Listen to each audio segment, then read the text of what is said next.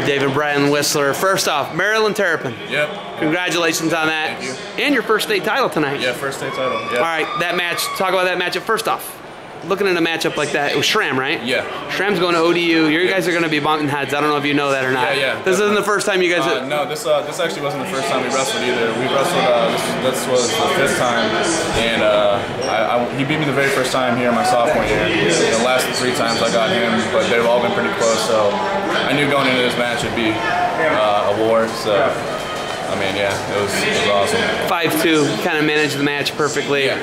Going to take down in the third period to ice it. Yep. What's that like for you?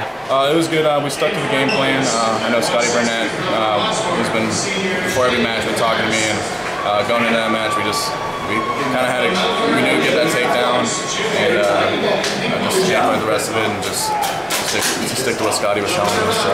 How much fun was this for you? Oh, it was awesome because coming down here the last two years, coming up short, uh, it was just so nice. All that hard work put in, all the hours on the road, just it's like the feeling of it paying off is awesome. All right, uh, what's next for you? Uh, rest up, kind of banged up a little bit, but uh, right after that, probably start lifting again, get ready for Ten that's gonna be fun. Are you and Wade to room together, or is that a sensitive question? Uh, right now, I mean, uh, it's gonna be crazy if we do, but I think uh, we were planning on it, but uh, I think we're gonna decide to room with other people since we were already so close, grew up together, so kind of meet some new people. So.